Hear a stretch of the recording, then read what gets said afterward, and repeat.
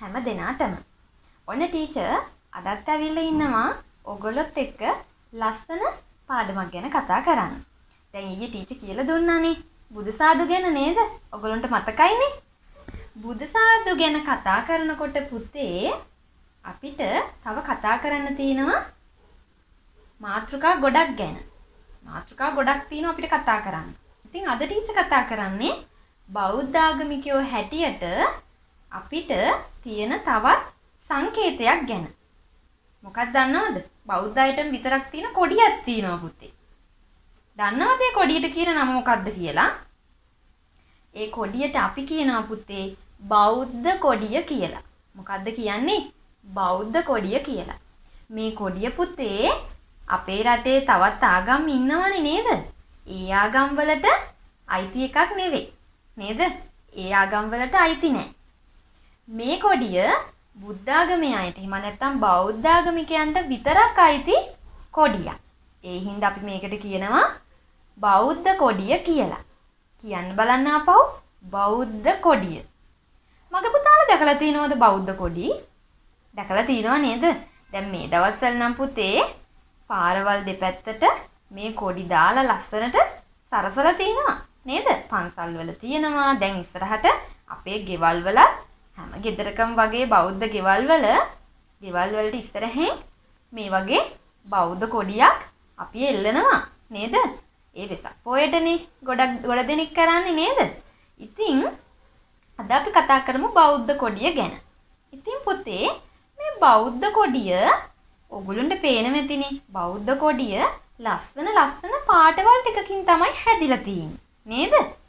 මොනවද තියෙන පාටවල්? අපි කතා කරමුද මොනවද තියෙන පාටවල් කියලා.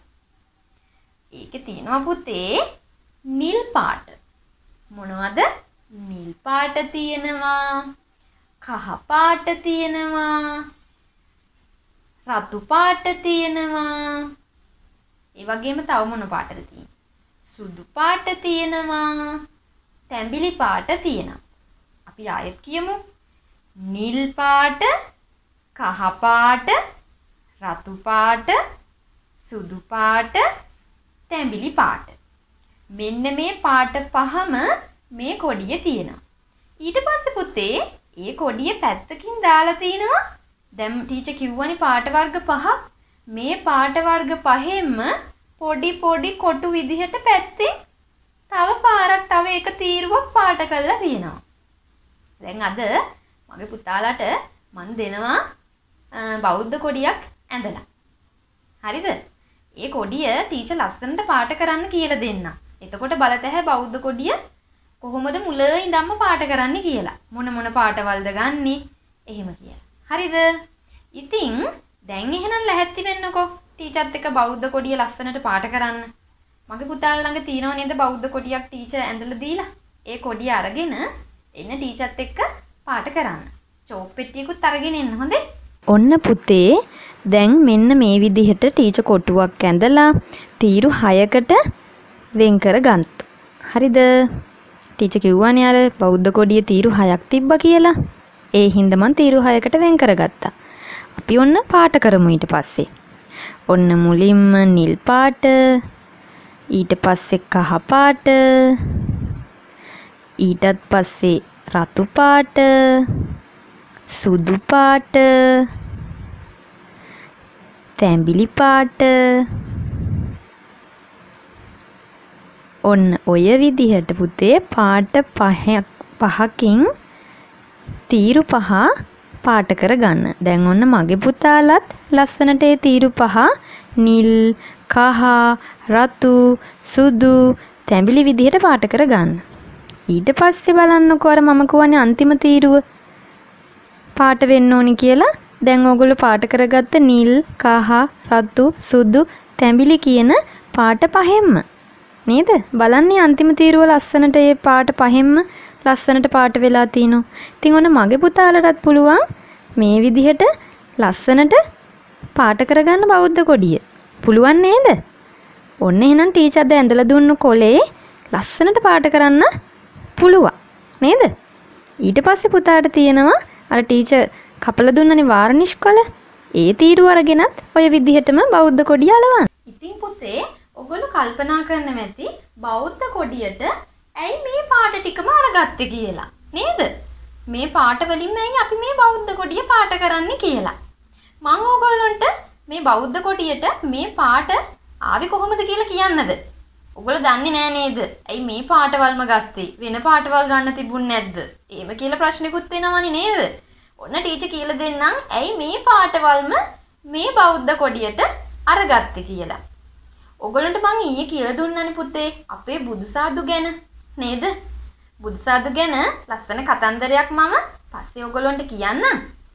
ඊට කලින් පුතේ මං ඔගොල්ලන්ට කියන්නම් මෙන්න මෙහිම මතක තියාගන්න. බුදුසාදු ඉපදිලා චුට්ට චුට්ට ලොකු වෙලා බුදුසාදු බුදු වුණා පුතේ බෝ ගහක් යට. නේද? ඔගොල්ලෝ දන්නවත් ඇති සමහරක් විට මේ කතාව. ඉතින් පුතේ මේ බුදුසාදු බුදු වුණාට පස්සේ බුදුසාදුගේ ඇඟෙන් පාට පාට එළියක් විහිදුණා. පාට පාටින් එළියක් විහිදුණා. දැන් අපේ ඇඟේ නම් පාට පාට එළි විහිදෙනවද? නෑ නේද? අපේ ඇඟේ පාට විහිදෙන්නේ නෑනේ නේද? මේ බලන්නකෝ මගේ ඇඟෙනුත් පාට විහිදෙන්නේ නෑනේ. නේද? බුදුසාදු කියන්නේ ලෝකෙ හිටපු පුතේ බලවත්ම කෙනෙක්. ඒ හින්දා බුදුසාදු බුදු බව ලබා ගත්තට පස්සේ බුදුසාදුගේ ඇඟෙන් පාට පාට එලියක් විහිදෙන්න ගත්තා. ඒවට තමයි පුතේ අපි කියන්නේ බුදුරැස් කියලා.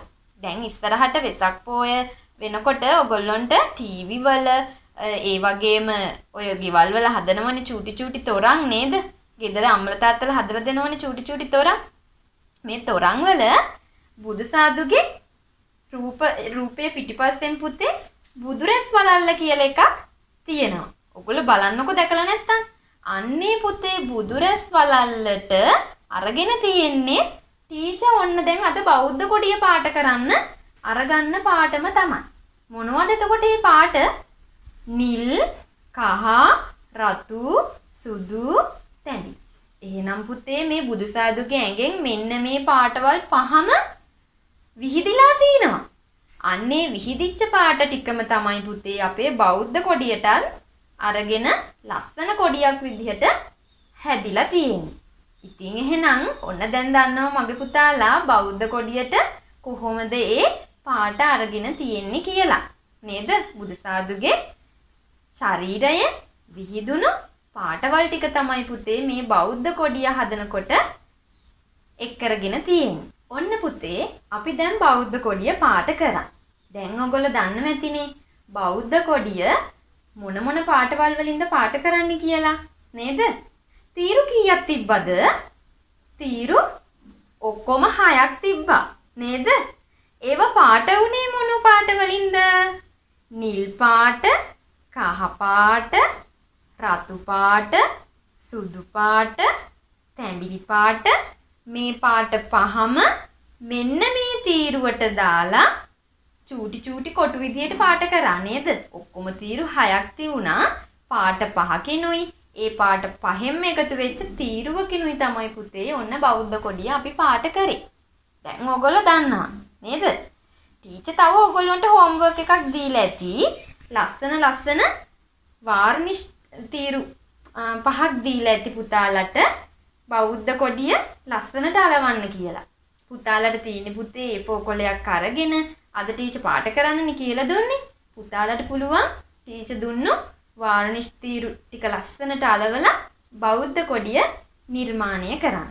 ඔන්න එහෙනම් අද හෝම්වර්ක් දෙකක් තියෙනවා. මොකද්ද දෙක? දැන් ටීචර් කරා වගේම බෞද්ධ කොඩිය පාට කරන්නත් ඕනේ.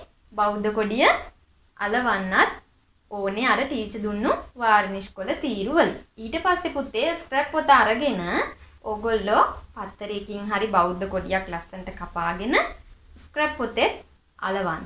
හොඳද?